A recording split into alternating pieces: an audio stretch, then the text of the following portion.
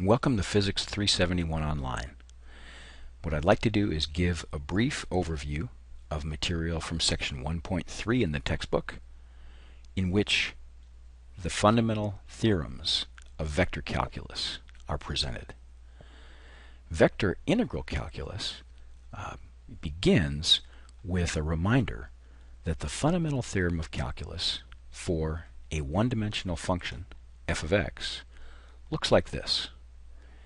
And basically, this is the definition, or one way, of defining the derivative.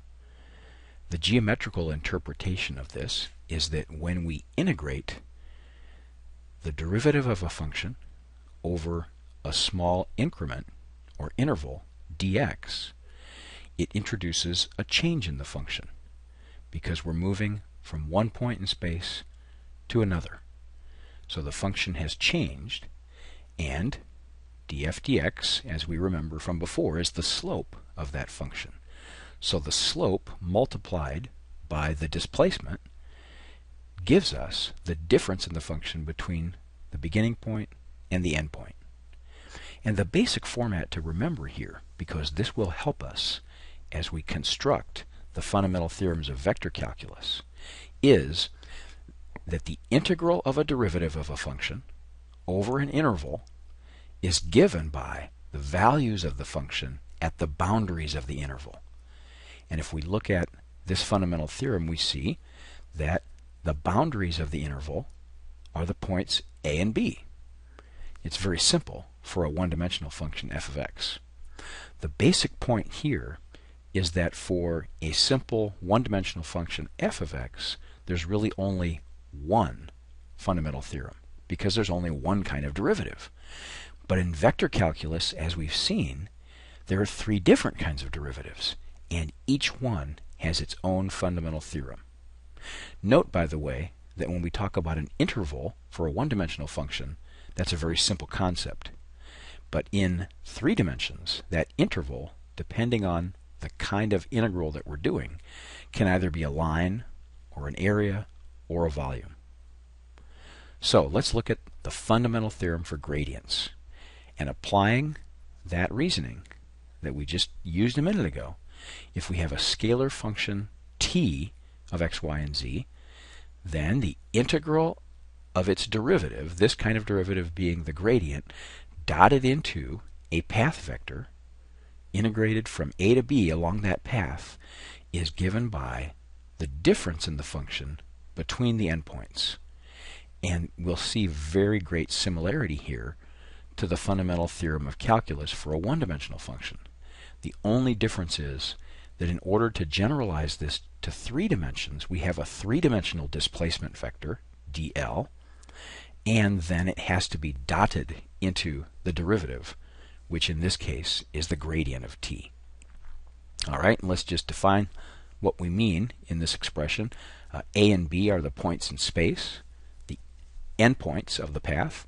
The path denotes the path of integration between A and B because you'll see in this expression that path is not uh, specified in any other way. And so we do, in order to evaluate the left-hand side, we would have to define a path.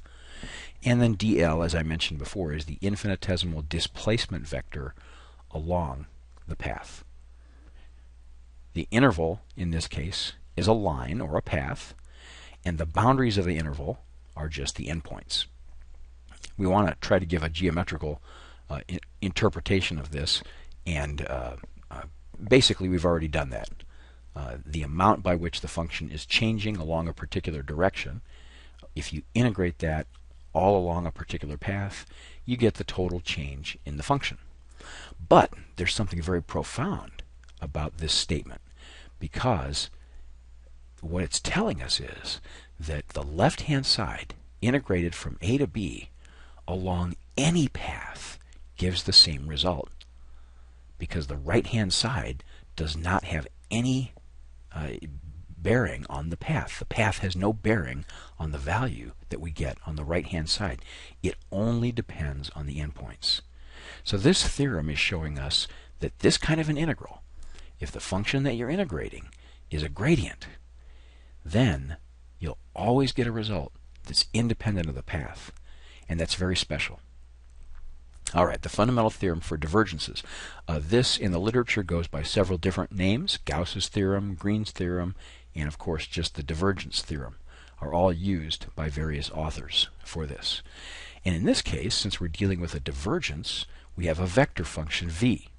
So here, the integral of the divergence of v over a volume of space is equal to the integral of v dot dA over a closed surface in space. Now let's unpack this just a little bit. First of all, d tau is the symbol that Griffiths uses for the infinitesimal volume element. And in Cartesian coordinates, that would simply be dx, dy, dz. dA, as you've probably seen in previous courses, represents the infinitesimal area vector, which, the way we define it, it's always normal to and outward from the surface over which we're doing the integration. Now, uh, let's just look for a moment and ask ourselves, why is this a volume integral on the left-hand side? Because the basic idea is the integral of the derivative of a function over some interval is given by the values of the function at the boundaries of the interval. So why, why a volume element? Well, if you think about what the divergence represents, it's the tendency of the function to flow outward or inward toward a point in space. And so if we want to capture all of that, we need to integrate not along a particular direction or over a surface, but over an entire volume surrounding a particular point. That will capture uh, this divergence, the total divergence of the function. And then, having uh, established that we need to integrate over a volume, uh, then the boundary of the volume is a surface and not just any surface, but as the little circle on the integral sign indicates, it must be the closed surface that defines the volume for this to be consistent. And so, again, as I just mentioned, the interval that we're integrating over is a volume which specifies the boundary as the closed surface that defines it.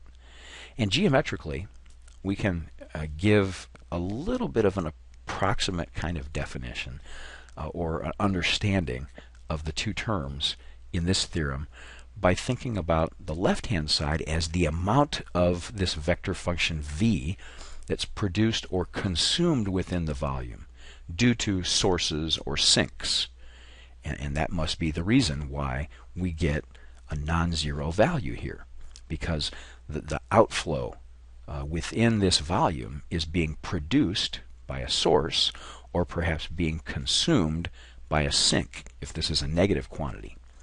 And it's a it, you, you can think of it as a, a, conservation law of sorts that whatever is being produced uh, within this volume has to either flow outward through the surface or flow inward through the surface uh, if it's being consumed.